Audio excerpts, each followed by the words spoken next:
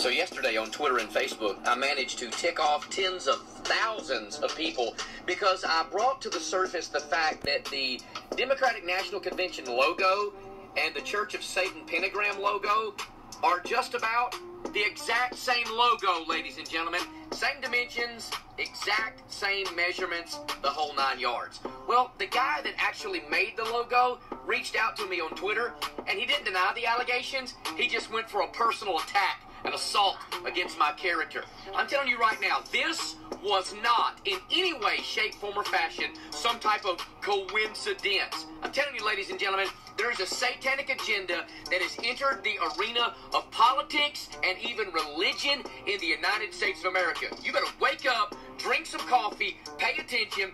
Jesus is coming soon, and I'm telling you, Satanism is alive and well in the United States of America.